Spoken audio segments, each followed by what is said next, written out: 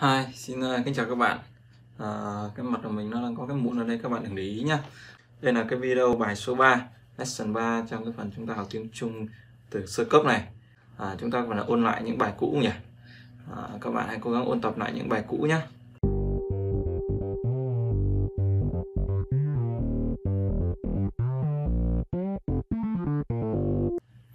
Thì à, để dễ học thì chúng ta sẽ nghiên cứu cái từ khóa trước từ mới trước rồi chúng ta sẽ vào cái bài khóa sau.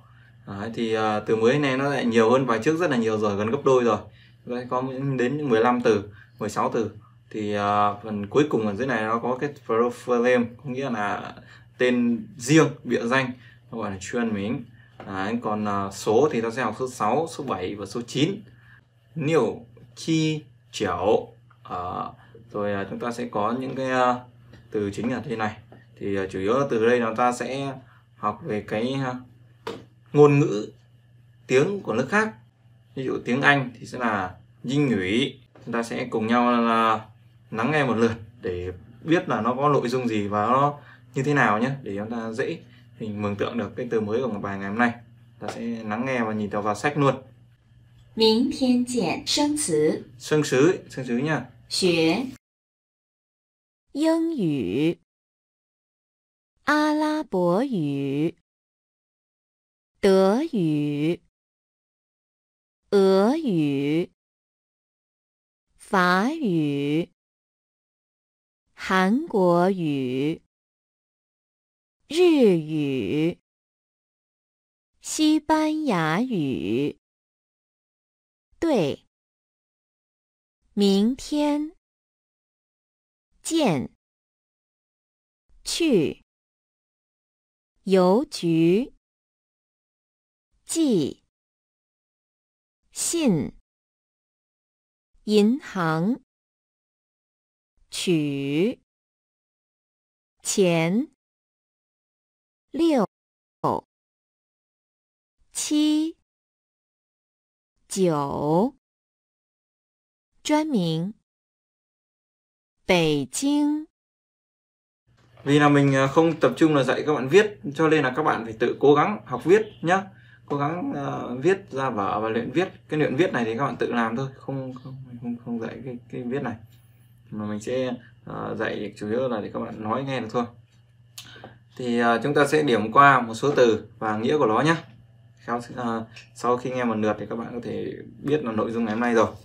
生词 ok sương sứ nhá từ mới này thì uh, chúng ta sẽ có bắt đầu đầu từ đầu tiên. Xuế. Từ xuế là từ học nhé xuế là học.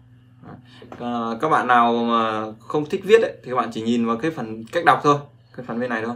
Ta học đọc học nói thôi không cần phải học viết. Đấy. xuế là học. Học hay là nghiên cứu cái gì đó. Xuế. Dân ngữ. Dân ngữ là tiếng Anh Gọi Arabo ngữ Alam Wari là tiếng Arabic. Arabic đấy. chúng ta không quan tâm đến Arabic làm gì. Có nghĩa là ta không sang đến cái đất nước đấy đúng không? Tớ 语 Tớ rủi là Tớ rủi là Đức tiếng Đức Germany. Ớ ngữ ta có ứa rủi là tiếng Nga. Ứa rủi là tiếng Nga. Ok ứa rủi tiếng Nga. Phá ngữ Phá rủi tiếng Pháp. Phá rủi tiếng Pháp nha Hàn Quốc ngữ. Đó là Hàn Quốc ngữ. Hàn Quốc ngữ là tiếng Hàn Quốc. Nhật ngữ. Nhật ngữ là tiếng Nhật. Nhật ngữ tiếng Nhật. Tây Ban Nha ngữ. Tây Ban Nha ngữ là tiếng Tây Ban Nha.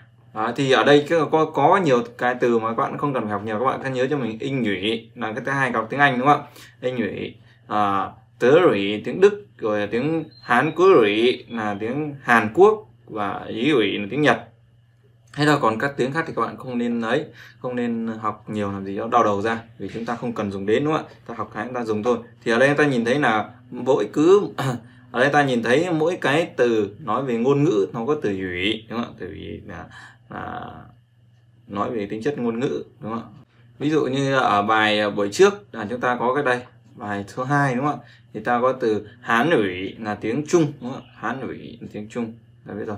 Đây từ ủy này nó mang tính chất ngôn ngữ. Rồi xong phần ngôn ngữ thì chúng ta sẽ đến những cái từ mới khác. À, đầu tiên ta có từ xuế là học rồi đúng không bây giờ ta có cái từ 对 từ tuổi tuổi à, là từ D ở trong tiếng Trung ta đọc gần giống như chữ T chữ tờ Việt Nam tức là đọc là tuổi tuổi à, có nghĩa là đúng ok hay là chuẩn chính xác. Đấy chúng ta thường có cái câu nói là à, chính là như thế. Đó, tuyệt vời à, như vậy.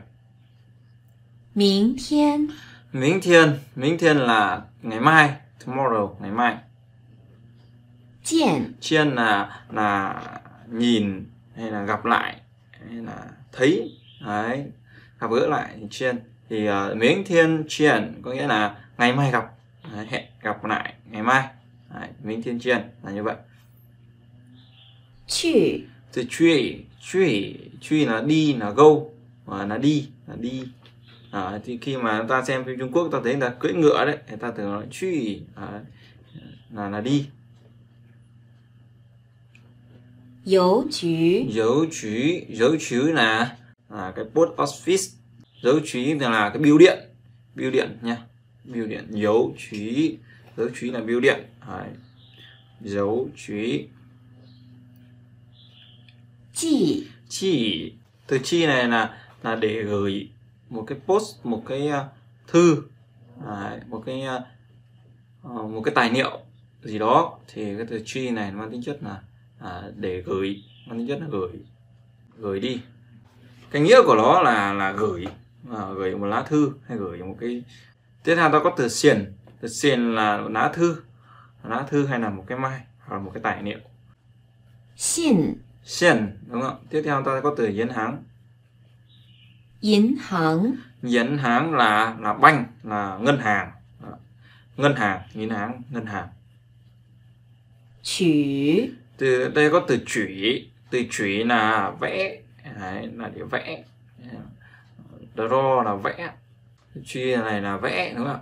Ta có tiếp theo.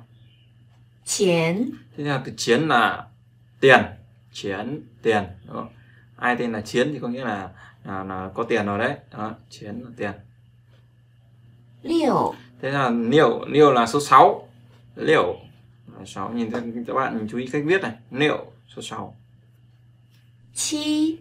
Chi là số 7 chi số 7 chiều chiều là số 9 chiều chiều Đấy, nó rất giống cái cửu luôn không ạ? Chiều số 9专名 chân miếng chân miếng là tên riêng nhé tên riêng này 北京 Bảy Dinh Bảy Dinh là thủ đô của Trung Quốc đúng không ạ nó, nó, nó, Bắc Kinh Bảy Giang Bảy Giang Ok ta đã hết từ mới rồi và ta sẽ cùng nhau nghe và luyện đọc lại một lần nữa rồi ta sẽ quay lại bài khóa 二生词 Sương sứ 学 Xuế 英语。英语。阿拉伯语。阿拉伯语。德语。德语。俄语。俄语。法语。法语。韩国语。韩国语。日语。日语。西班牙语。西班牙语。对。对。明天。明天。见见。去去。邮局邮局。寄寄。信信。银行银行。取取。钱钱。六六。七七。九九。专名。专名。北京 Bảy Dinh Ok thì các bạn cái này à, các bạn tự luyện lại nghe một lần nữa nhé Thu lại video các bạn nghe lần nữa và các bạn uh, tự đọc mà không cần phải đọc lại theo video. Đấy, thì nó sẽ dễ còn mình là làm cái đấy thì nó sẽ mất thời gian cho các bạn. Ok bây giờ chúng ta sẽ quay lại cái phần uh, bài khóa một chút. Nó cũng khá là ngắn thôi không có gì đáng sợ lắm cả. Đã có hai bài khóa một tí. Chúng ta sẽ bắt đầu nhá.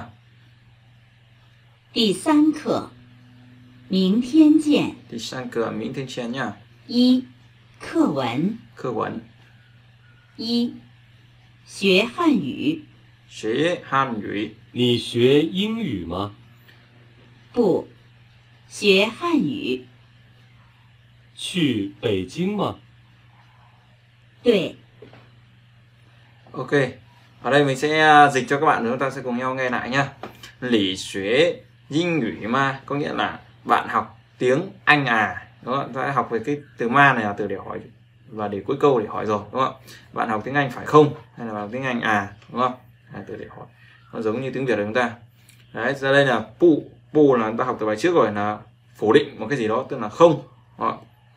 Pu là không. À, xế han nhủy tức là học tiếng Trung. xế han nhủy à, học, học tiếng Trung cơ à, tiếng Trung này là ta học từ bài trước rồi đúng không học tiếng Hán truy bảy dinh ma à, truy là đi đúng không ạ truy bảy dinh ma đây là từ mới năm nay đây truy là đi đấy à, đi à, à, ý là học tiếng Trung học tiếng Hán là đi Bắc Kinh à, à đi Bắc Kinh phải không thì nó là đúng tuệ đấy. ta sẽ cùng nhau nghe lại lần nữa nhé 你学英语吗？你学英语吗？不，不，学汉语，学汉语。 去北京吗？去北京嘛对， Tuệ Ok Nó đơn giản như vậy thôi à, Tiếp theo ta sẽ sang đoạn hỏi lại tiếp theo đoạn này hơi khó hơn một chút à, 二， à, Số 2明天见， Miếng thiên chiên là ngày mai Miếng thiên chiên chính là tiêu đề của bài học này Miếng thiên chiên ngày mai Miếng thiên chiên là hẹn gặp lại vào ngày mai Miếng thiên chiên hẹn gặp lại ngày mai Chính là tiêu đề của bài học chúng ta Miếng thiên chiên Rồi chúng ta sẽ cùng nhau 你去邮局寄信吗？ Lỷ truy dấu chúy chi xin ma Cái này nó khó thì chúng ta cứ dừng lại và đọc cùng nhau cho dễ 不去， Bú trụy 去银行取钱。 truy chi- truy yến háng chỉ chén 明天见， miếng thiên triện 明天见。 miếng thiên triện Đây là hai người hẹn gặp lại nhau thì ở đây mình sẽ dịch quan cho các bạn rồi chúng ta sẽ cùng nhau luyện đọc cái này bây giờ chúng ta sẽ cùng nhau luyện đọc một lần nữa rồi là mình sẽ dịch cho các bạn để các bạn nhìn cái bức tranh ở đây cho nó các bạn có thể tưởng tượng ra người ta đang nói cái gì nhé 明天见。 miếng thiên triện à 你去邮局寄 lỷ 信 truy 吗？ dấu chúy chi xin ma lỷ truy dấu chúy chi xin ma có nghĩa là à, bạn đi đến bưu điện để gửi một lá thư à Đấy. nể truy dấu trí chi xin mai bạn đi em đi điện và gửi lá thư à? Đây là cô này đang cầm lá thư đây thì bà này bảo hỏi vậy. Bố truy bố truy là không phải. À, bố truy là không phải. Truy yến truy yến hàng chuyển tiền đấy. Thì à, ta sẽ thấy là từ truy là đi rồi. Yến hàng là ngân hàng. Còn từ à, chuyển từ chuyển ở đây là là chúng ta vừa nãy ta dịch là là vẽ đúng không? Nhưng mà ở đây nó sẽ dịch là là gửi à, còn chiến là tiền gửi tiền ờ, à, ta vẽ à, từ chuyển là gửi tiền Đấy. truy yến háng chuyển chiến là đi ngân hàng để gửi tiền chứ không phải là vẽ tiền đâu Đấy. thì chúng ta sẽ thấy rằng là gửi một lá thư nó sẽ là từ chỉ còn từ gửi tiền nó sẽ là chuyển chiến à, gửi thư tức là bạn gửi cho người khác người ta nhận lấy Đấy. người ta nhận lấy và lá thư nó là cái việc khác nó, nó là một cái việc khác người ta nhận đến lá thư người ta không gửi lại lá thư cho bạn nữa người ta có thể xé lá thư đi hoặc người ta giữ lại lá thư làm kỷ niệm bạn không biết nhưng mà thường là lá thư không gửi lại cho bạn. Nhưng mà khi bạn đi gửi tiền vào ngân hàng thì bạn lấy lãi và ngân hàng tiền nó vẫn là thuộc về bạn nó vẫn là của bạn. Đấy, thì cái từ này hai từ này khác nhau. Đấy, các bạn nhớ ờ, một từ là chi à, một từ là chi chi một từ là chủy đấy hoặc là chi xin đấy, gửi thư chủy chén đấy, gửi tiền các bạn nhớ cái phân đoạn này là như vậy rồi miếng thiên trên là hẹn gặp lại ok thì ta ta cùng nhau luyện đọc lại một lần nữa hai cái từ cưỡng trên thôi. miếng thiên trên là hẹn gặp lại ngày mai nó giống như là uh, see you again này, dễ quá. Thiên triển.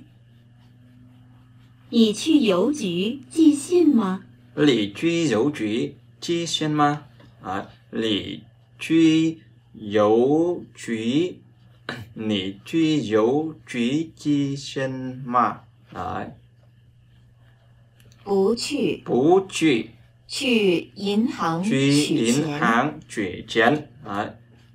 Bú truy truy yến háng truy chén Ok Truy yến háng truy chén các bạn nhé Cùng nhau làm lại lần nữa nhé 不去， 明天见。 Miễn thiên chuyện 你去邮局寄信吗？ Lý truy dấu chỉ Chi xin ma 不去， Bú truy 去银行取钱。 Truy yến háng chuyển chén Đấy các bạn sẽ thấy là hai từ gửi khác nhau Một từ là chi và một từ là chuyển à, Chi xin là gửi thư Chuyển chén là gửi tiền à, Lý truy dấu chỉ Chi xin ma à, Bạn đi gửi thư à Hoặc không Bú truy chuyên yến háng chuyển chén chuyên yến háng chuyển chén Là tôi đi à, ngân hàng gửi tiền. Ok thì bài ngày hôm nay sẽ kết thúc ở đây. Và sẽ thấy cái, hai từ này rất là hay. Và thường thì chúng ta mà đi gửi tiền chúng ta không là nói với người khác là ta đi gửi tiền đâu. Ờ, người ta biết là mình có tiền hay sao đúng không? Nhưng mà trong đoạn hội thoại này thì nó khiến chúng ta học thôi. Ta sẽ nhớ được chuyển chén là gửi tiền chia sen là gửi thư. Hẹn gặp lại các bạn trong các bài tiếp theo.